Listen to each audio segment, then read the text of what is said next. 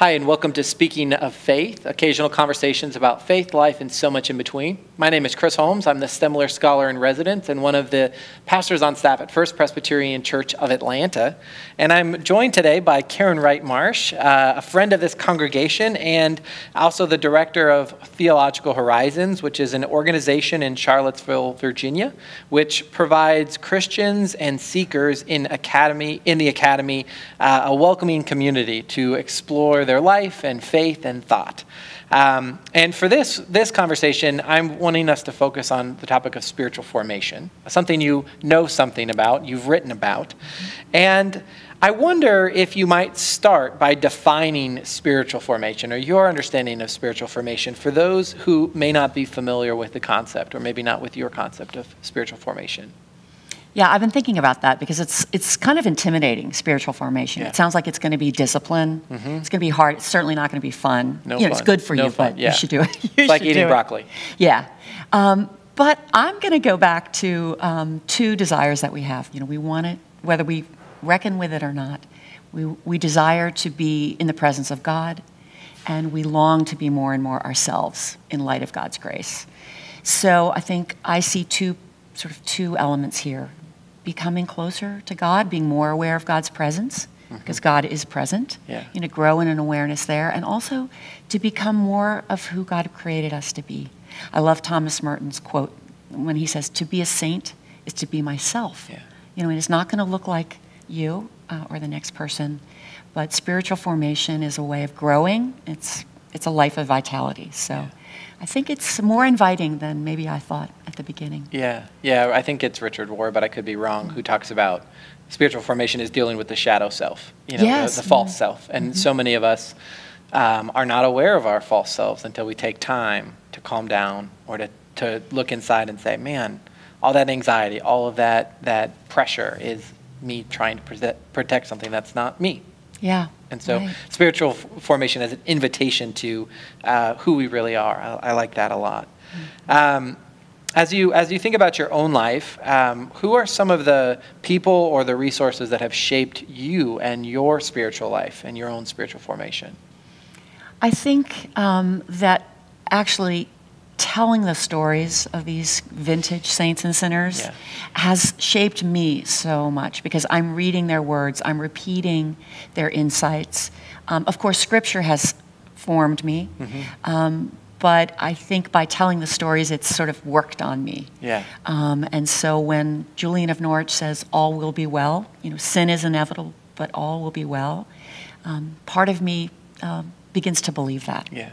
Um, I do think that for me, repetition is, i i is very helpful, whether it's liturgy, whether it's poetry, whether it's song. Um, Yeah. I'm a singer. Yeah. Um, so those words and beauty, art, um, get at different parts of myself that have been very helpful, I think, in, uh, in these daily invitations Yeah. to be formed. Yeah, thank you so much. So, kind of returning to your first question, uh, this idea that spiritual formation is hard, like eating your vegetables. Um, one of the things that I personally have experienced and struggled with is that there's often this ideal of the spiritual, spiritually formed person, and usually this includes selling all that you own, leaving your family and your work, and moving out to the desert to focus exclusively on God. And so, while that might have worked for our church fathers and mothers, our nuns and our monks, it's not been realistic for me. My family, on most days, would miss me. and so, what does spiritual formation look like for everyday people who live ordinary lives of work and relationship and rest and so forth? Yeah. Yeah, St- Simon Stylites actually did live on a, on a pole for Yeah. thir- 37 years, but yeah, that is not for me. That's not for everyone. Uh, And there are days I, I would love to live in a, in a convent actually and just Mm-hmm. get away from my, my family. But um, I, and I grew up in a tradition where quiet time, you know, a, a great qu- Christian wasn't a monk or a nun, but they did look like, you know, quiet time every morning for an Mm-hmm. hour and a half. Um, church attendance whenever services were on. check, check, check, check. Um, so I think even though the monastic and sort of Catholic traditions, uh, standards of piety uh, are not for me, I have other voices speaking into me. Is that you know spirituality looks like this. Um, but I have just come to this um, more and more this realization that, you know, God is seeking me out. So the invitation is to uh, pay attention, to uh, respond to the little invitations. Um, Annie Dillard says, How we spend our days is how we spend our lives. Mm. So, uh, spiritual formation or um, you know, the spiritual life is not a huge program that I commit to forever. It's, it's waking up in the morning um, and becoming aware of God's invitation. Yeah. Um, again, another person who has influenced me is Thomas Merton. Yeah. And he talks about the seeds, that God is planting seeds, almost like a dandelion, you know, blowing mm. God's presence throughout my day. And I can walk right through it and ignore it. But um, in each moment, I have the opportunity to turn um, and see God and be formed in that. I love that. I love that. The, the language about awareness or attention reminds me of, of one of my teachers, Luke Johnson, who uh, in one of his books says that spiritual formation is the asceticism of attention. It is the, about training ourselves to pay attention to what God is doing in our lives and in the world and yet, I don't need to tell you that we live in a life, uh, in a world of constant noise and distraction, and whether that's social media or busy schedules or carpools or kids or meals, we are living busy lives. And so I, I wonder how have you found ways to pay attention to God in the midst of all of that? What does it look like to do spiritual formation in the age of the smartphone?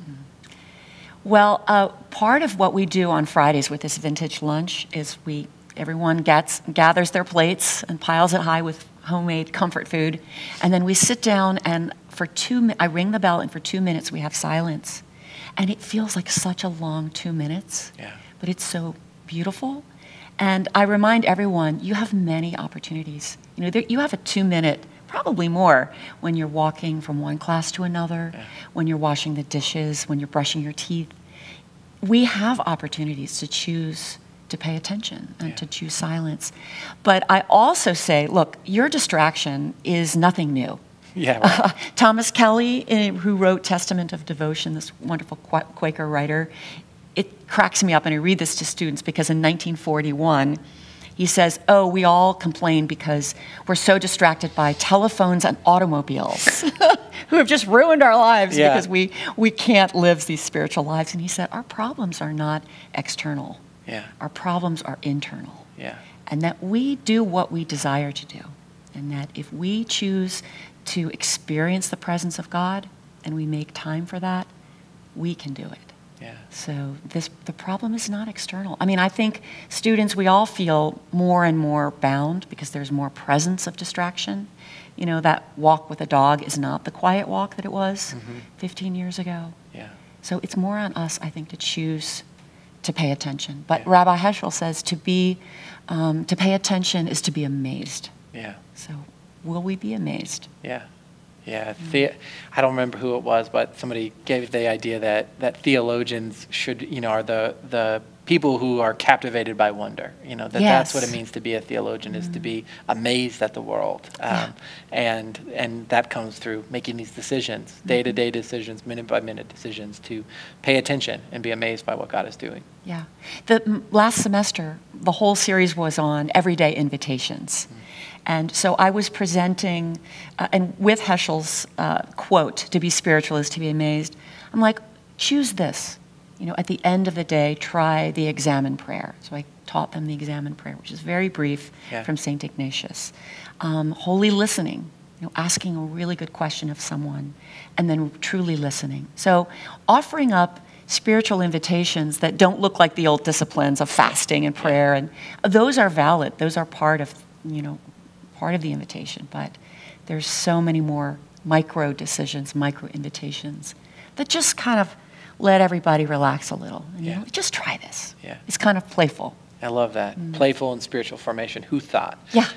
Well, thank you, Karen, for your conversation on spiritual formation. Super helpful, I know, to me, and, and I'm sure to the people who are watching along. And thank, uh, you. thank you for joining us again for this installment of Speaking of Faith. Hopefully, it was uh, something that you'll take with you in your own spiritual life. Thanks again for joining us.